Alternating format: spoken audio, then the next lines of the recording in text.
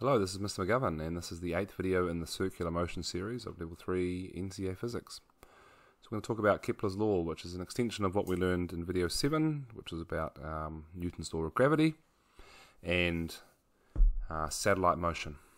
So we'll start with a bit of a review of a force diagram, uh, look at the formulas and derive uh, velocity and time period, and then discuss what it all means. So in the last video we talked about satellite motion and um, a satellite needs to be in an orbit which is travelling in circular motion. The only force acting on the satellite is the force of gravity from the Earth. And Newton's law of gravity, uh, we have a formula for that. The motion the satellite goes around is circular motion and because it goes around a circular motion the total force in circular motion or the centripetal force is given by this formula here mv squared over r. So what we can do is, because this is the only force, force of gravity, it makes up the total force, we can equate those two formula. In equating the two formula, the force of gravity and the um, total force of circular motion, so the one on the left is the force of gravity, the one on the right is the um, centripetal force or the total force in circular motion. Let's just remind ourselves what all the letters mean.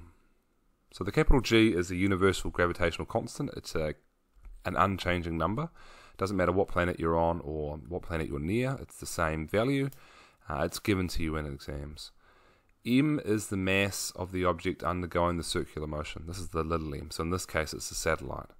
Uh, but you could be asked a question where the moon's orbiting the Earth. And in that case, the moon is the thing orbiting, it gets the little m.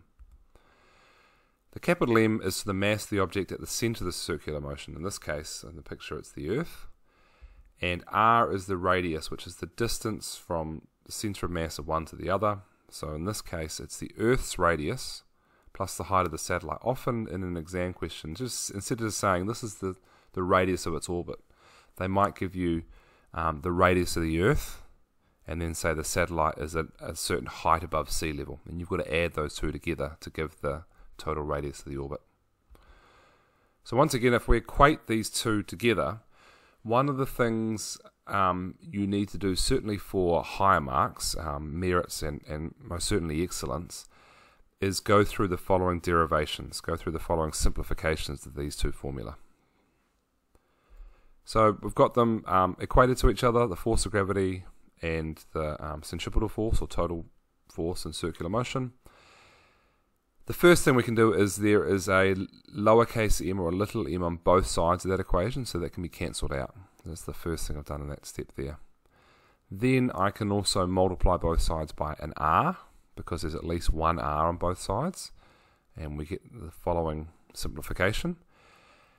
And then, given that capital G, capital M over r equals v squared, I can just find the square root of that to find the velocity. This velocity is the velocity needed to achieve a stable orbit. Now notice a couple of things. It doesn't depend on the mass of the satellite. It only depends on the mass of the Earth, capital M, and the radius of the orbit. So our NASA um, scientists, when they want to send up a satellite into orbit, they have to do this calculation to figure out what velocity they need to achieve for the satellite at a certain height or certain radius uh, for it to be in a stable orbit.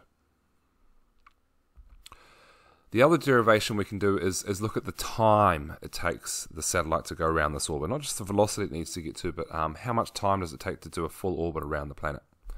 So these are the derivation we've already got to. Um, but I haven't done the last step, so I've just got to v squared. And what I'm going to do now is I'm going to say, well, an object undergoing circular motion, its velocity can be calculated by 2 pi r over d, which is distance over time because the distance around a circle is just 2 pi r, and the time around um, in circular motion is the time period, capital T. So I'm going to substitute that formula for velocity into the um, formula above it. And because it's velocity squared, that 2 pi r over t is going to be squared as well. I'm then going to open that bracket up, and I get 4 pi squared r squared over t squared on the right hand side. And we'll just go to the next page so we can fit it all in. So I'll just copy that out again. Now I'm looking for a derivation of t, so I want capital T to be the um, subject to the equation.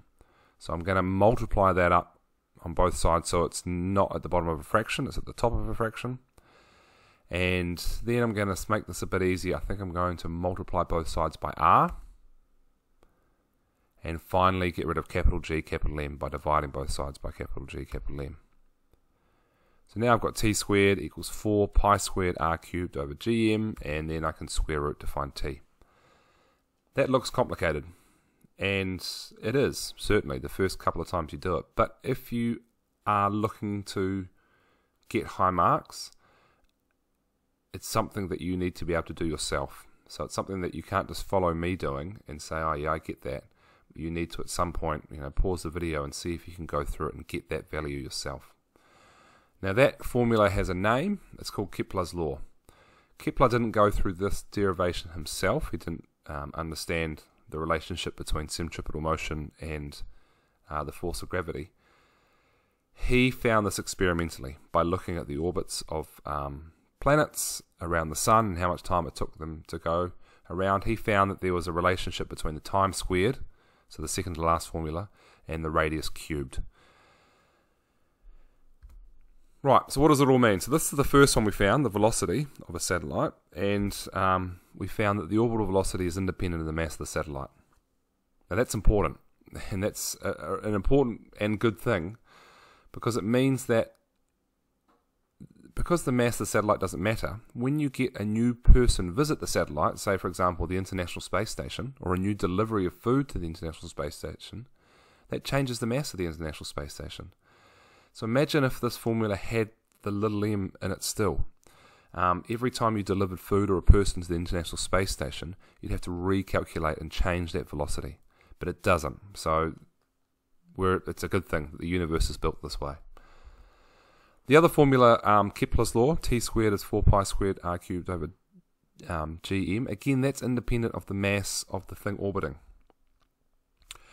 And because that, um, if we know the radius, so looking at, um, as an example, the moon going around the Earth, if we know the radius of the orbit, orbit of the moon, which we do know, and you know the time period it takes for that moon to go around the Earth, which we know it's about 28 days, then we can rearrange that formula, Kepler's law, to find the mass of the thing in the middle, the mass of the Earth. Um, this is a pretty clever technique. If we, as long as we've got some one thing orbiting another thing, and we can count how much time it takes for that thing to make the orbit, and we know the radius, um, we can calculate the mass of the thing in the middle. So this is how we know the mass of the Earth. This is how we worked out the mass of the Sun. We know the radius from the Earth to the Sun. We know how long it takes the Earth to go around the Sun, 365 days. We can use this formula, rearrange it, and work out the mass of the Sun. So once more, this has been quite a heavy um, video in terms of derivations, but if you're looking for um, top marks, it's things that you need to be able to do um, independently yourself.